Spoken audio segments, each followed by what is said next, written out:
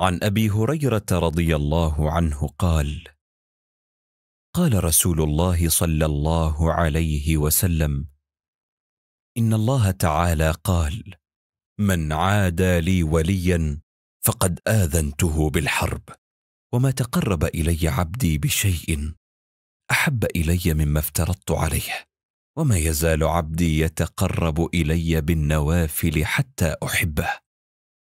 فإذا أحببته كنت سمعه الذي يسمع به وبصره الذي يبصر به ويده التي يبطش بها ورجله التي يمشي بها وإن سألني أعطيته ولئن استعاذني لأعيذنه.